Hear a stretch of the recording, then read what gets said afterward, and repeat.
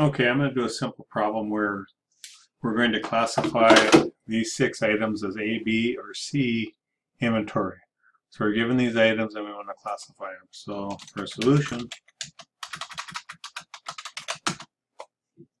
um, just go ahead and copy these items down into the solution area.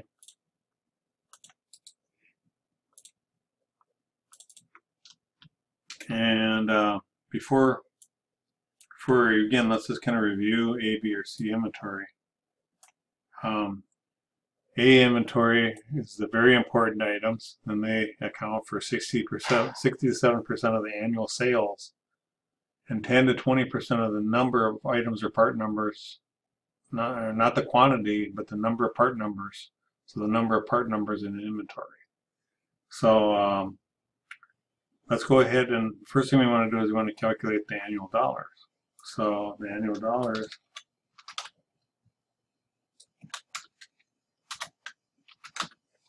those would be equal to basically the unit cost times the annual volume in thousands. Of course, that's going to be a number.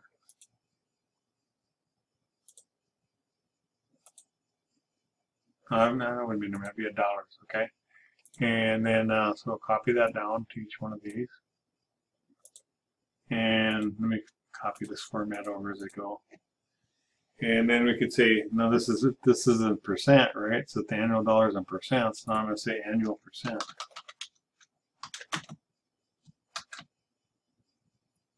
Dollars.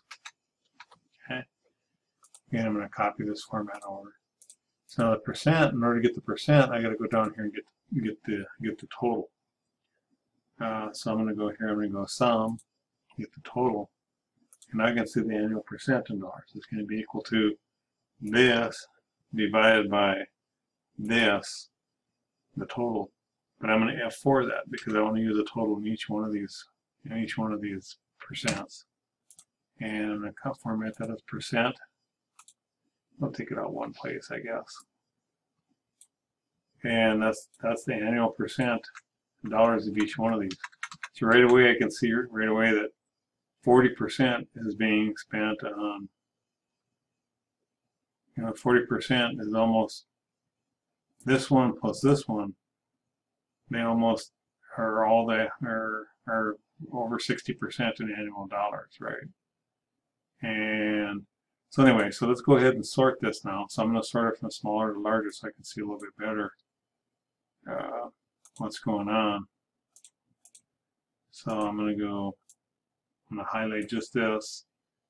I'm going to go data, sort. Okay, I'm going to sort by annual percent. And I want to go from the largest to the smallest because I'm going to have A's on top. Okay, so I need 60 percent, 70% of the annual dollars, and on the bottom needs 10 to 15%. So just looking at that, I would say this has to be an A for sure. And this one has to be a C. I would call that a C. the question is to include this in the A. What about the items? Well, each one of these is one sixth, right? So this would be 16 per 16. This would be equal to 1 6. I can say this equals to 1 divided by 6, right? each one of these, that's how much of a percent it is.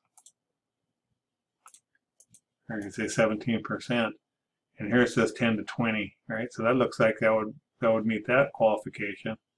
If I if I include this as B, then this would be like 63%, which would be okay on that, but it would be outside of that. So you kind of have to use a rule of thumb, right? So this is so this is the this is the number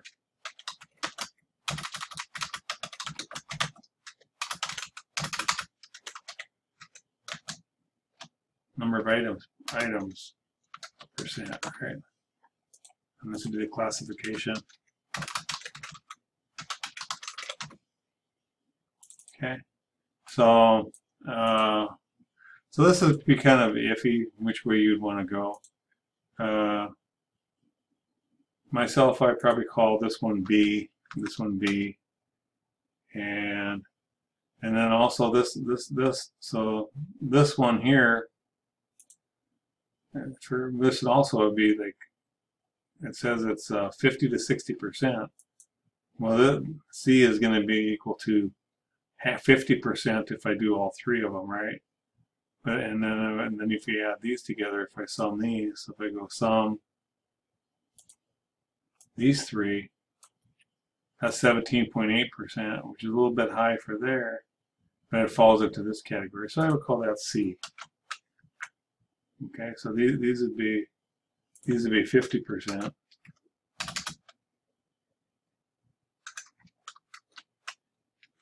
And these would be about and, and the sigma will be left. So we're basically I try to you try to satisfy these two, the top and the bottom, and then, in the middle is what's left over.